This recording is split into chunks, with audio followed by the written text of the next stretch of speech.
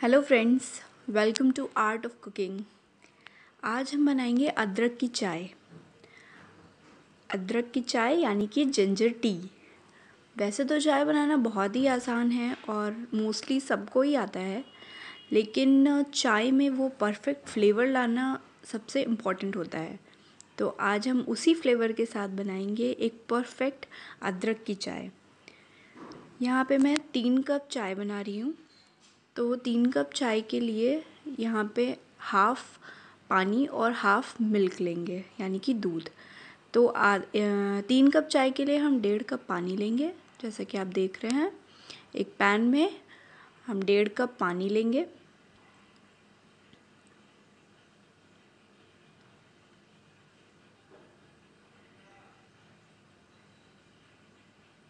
ये पानी हमने ले लिया है अपने पैन में। और अब हम चाय बनाने को पूरी तरीके से तैयार हैं। अब ये पैन हम गैस की फ्लेम ऑन करके गैस पे चढ़ा देंगे।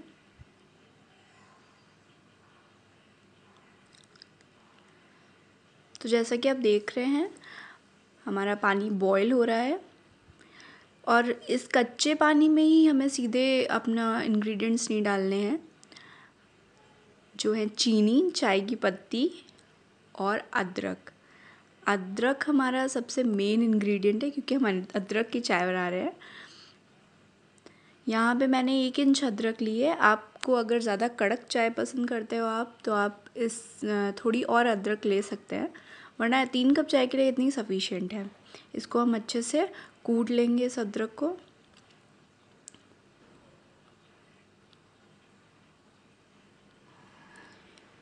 ये हमने अपनी अदरक बहुत अच्छे से क्रश कर ली है, जैसा आप देख सकते हैं।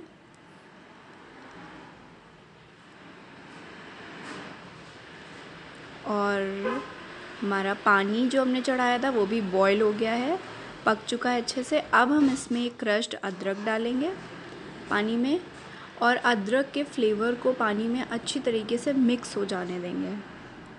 जैसा आप देख रहे हैं, अदरक अपना फ्लेवर अच्छे से पानी में मिक्स कर रहा है। और अब हम चाय की पत्ती डालेंगे। यहाँ पे मैं डेढ़ चम्मच चाय की पत्ती डाल रही हूँ। आप ज़्यादा स्ट्रॉन्ग टी प्रेफर करते हो तो आप दो चम्मच भी डाल सकते हैं।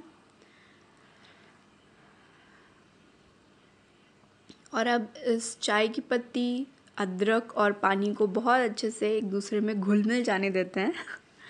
तो ये अच्छे से चाय को हम पक जाने देंगे। इसको थोड़ी देर ऐसे ही लो फ्लेम पे पकने देंगे। आप देख सकते हैं, हमारी चाय बहुत अच्छे से पक रही है। चाय की पत्ती का बहुत अच्छा कलर आ गया है, चाय की पत्ती और अदरक का। अब हम इसमें दूध डालेंगे। डेढ़ कप दूध डालेंगे हम।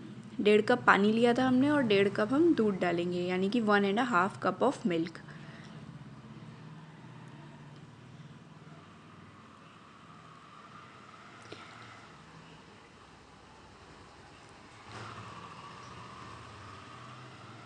अब हम इसमें शुगर ऐड करेंगे।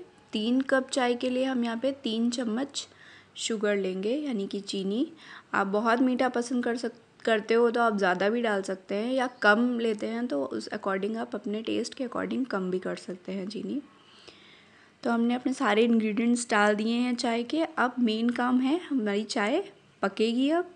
इसको पकने देंगे। एक बॉयल आने पे एकदम लो फ्लेम में कर देंगे चाय को और इसको दो से तीन मिनट तक अच्छे से पकने दीजिए लो फ्लेम पे।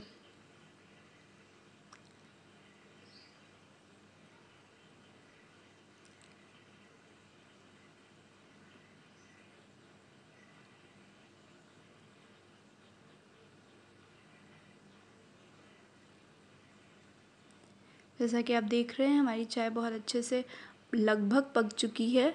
इसमें अच्छा सा कलर आ गया है। अब ये पूरी तरीके से पक चुकी है, अब इसको हम छान लेंगे।